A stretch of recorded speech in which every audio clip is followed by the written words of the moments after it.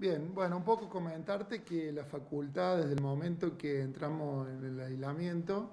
eh, tomó, digamos, como una de sus líneas de acción el tratar de indagar con su grupo de investigadores en qué sentido podíamos estar aportando algo de la institución a la, sociedad y al contexto, digamos, que se podía llegar a, venir, digamos, con el COVID-19. En ese sentido, eh, se conformó un grupo de docentes que también participaron graduados y en una primera experiencia se participó de una convocatoria del Ministerio de Ciencia y Tecnología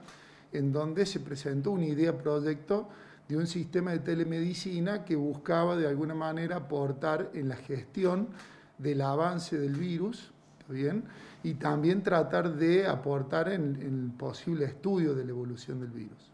Diego, la dinámica con la que se propaga el virus del COVID-19 entre toda la, población este, hace, genera demanda este, que se implementen nuevos sistemas, nuevas metodologías ¿no? de este, para justamente paliar este, la propagación de este virus. Contanos un poquitito vos, como uno de los creadores del hardware que implementó la Facultad de Ingeniería, de qué se trata. Eh, yo básicamente, como bien decía, este, participé un poco en la, creación del equipo en sí, para que la gente entienda un poco más. Eh, básicamente consiste en un equipo que se le entrega al paciente que está eh, derivado tanto en su domicilio como en centro de aislamiento, se le entregaría, digamos, este equipo. Eh, y este equipo tiene la capacidad de medir tres variables fundamentales, que son temperatura, el, nivel de oxígeno en sangre y el ritmo cardíaco. Una vez que el equipo mm, se preconfigura con los horarios de medición que el profesional de la salud considere necesario, eh, este equipo le alerta al paciente en qué momento debe tomarse la medición y el paciente bueno, sigue una serie de pasos que es bastante sencillo de utilizar. Digamos, básicamente te va indicando, bueno, póngase un sensor, eh, realice la medición y una vez que la medición se realiza, eh, esos datos son enviados a un sistema de gestión web para, digamos, para, para que el, el profesional de la salud esté al tanto del, estado del paciente. Básicamente el funcionamiento del equipo. A partir de, esa, de esa, experiencia de la, de la idea proyecto, es importante remarcar de que fue, salió con menciones, digamos, la idea proyecto que se presentó y a partir de ahí se consideró de la institución que tenía un valor agregado para, para llevar esta idea, digamos, a algo concreto. Y en ese sentido, bueno, se puso a trabajar eh, el grupo de investigadores con estos graduados y este, hoy en día estamos, digamos, teniendo un producto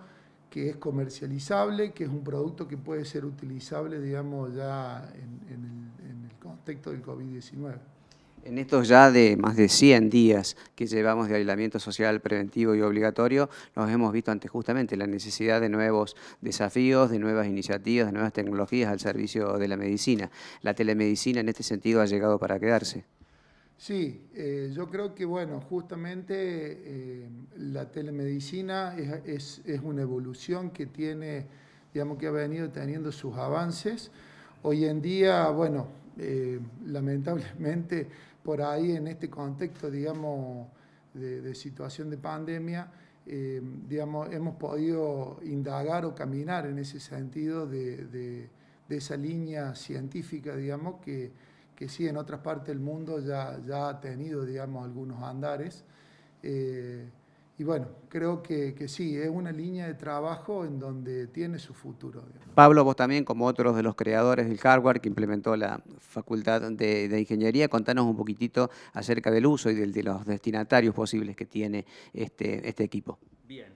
eh, como comentó Diego hace un momento, digamos, un poco lo que ocurre es con nosotros con el equipito, se toma la medición, de los parámetros que mide, que son temperatura, oxígeno en sangre y pulsaciones, y esta información va a parar un sistema de gestión que lo va almacenando. Y luego esa información la va a mostrar de tres maneras distintas. Para las clínicas u hospitales o alguna institución de la salud, va a mostrar un listado de los pacientes que han atendido y después va el, profesional de la salud va a poder acceder al paciente y ver un historial de la evolución del parámetro en sí. Después, para el gobierno provincial, municipal o alguna instancia de toma de decisiones como puede ser el COE,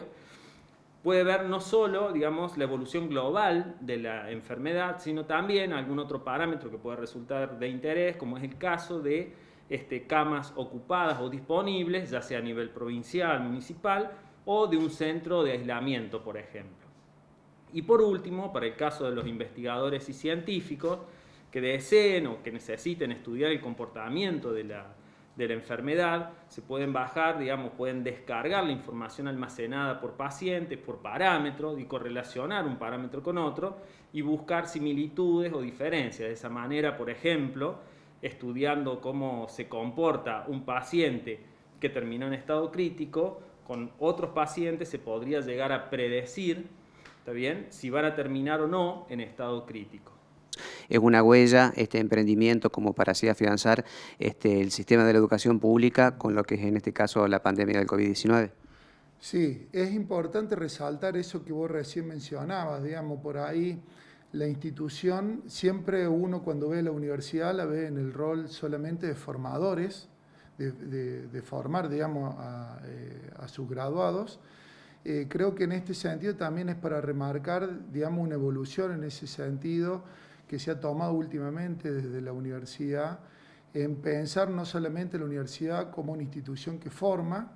eh, sino una universidad que también puede aportar este, en la generación de empleos.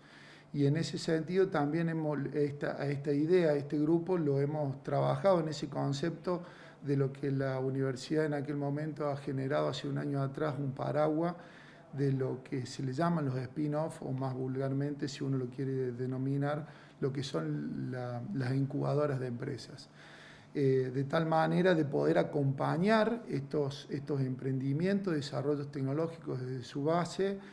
ah, con el objetivo de que se pueda terminar transformando en una pequeña pyme de desarrollo tecnológico en el mercado, eh, digamos, de Río Cuarto de la zona.